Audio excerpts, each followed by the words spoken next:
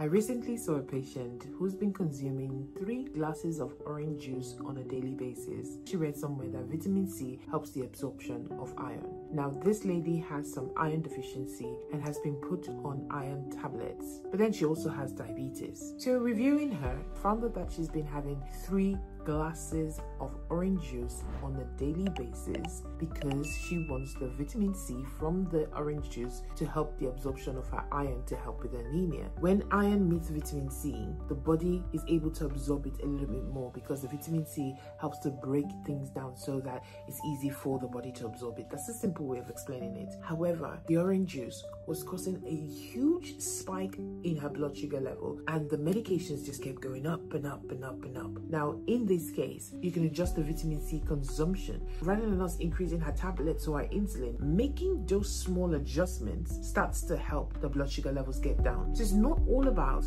pumping you with medications or pumping you with more insulin.